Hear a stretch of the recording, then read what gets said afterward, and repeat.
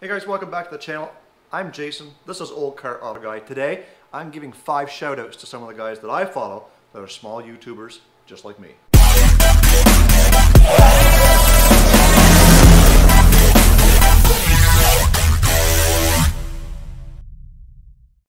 So guys, the goal today is hopefully that I can share some of the guys that I watch that are small YouTubers as well, just like me, and that you, because you're watching me, obviously are into cars, and that you would go over and look at their channels and follow them as well.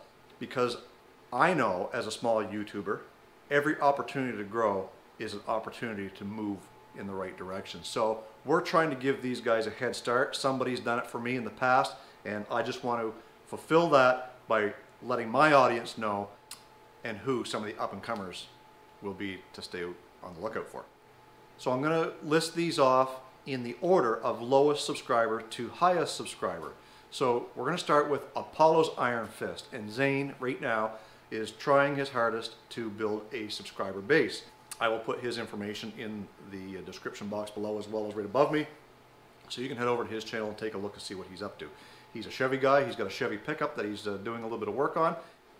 So right now he's sitting at 20 subscribers, so it's my goal to help him to boost that. Granted, I've only got the 525 or 30 right now, but uh, I know that hopefully some of you guys will go over there and, uh, and help give him a little bit of a boost because I know he would certainly appreciate it. He supports me. He watches almost all of my videos and uh, you know he gave me a little bit of a shout out on his channel the other day uh, to his subscribers. So I'm just trying to return that favor.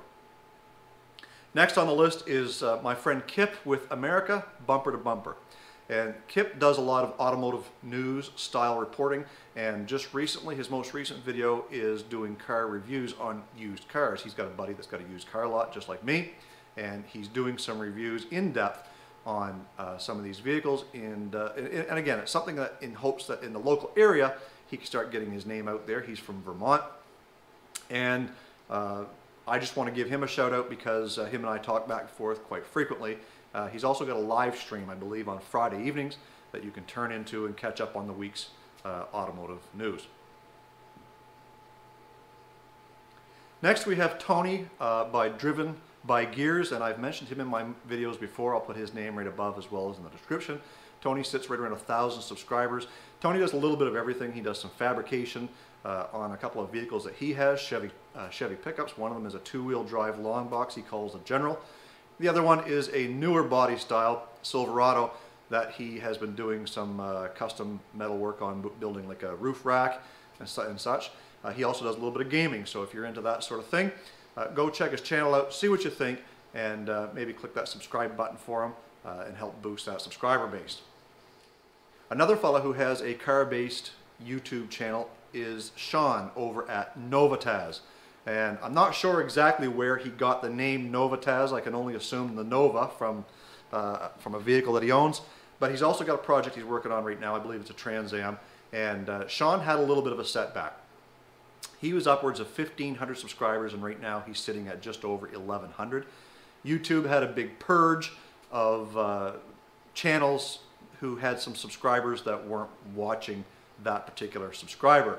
During that purge, he lost somewhere uh, in the vicinity of about 500 subscribers maybe, and I'm sure he can chime in on that to verify. But he's trying to build his subscriber base back up again, and uh, hopefully with, uh, with this video, it'll help with a few heading his way.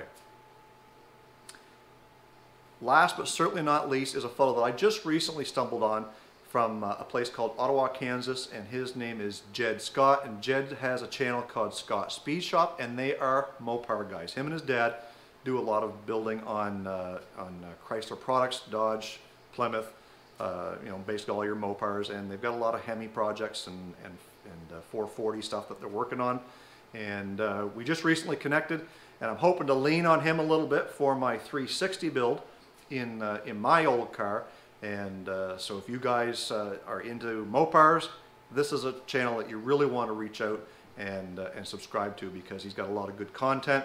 Uh, he gave me a shout out on his channel with 2,900 subscribers uh, in one of his last videos uh, in his live in a live stream. So I really appreciate the fact that he did that for me, and I want to send any of my subscribers that may not know of him back over to him so he can take they can take a look and see what's going on over at Scott's Speed Shop.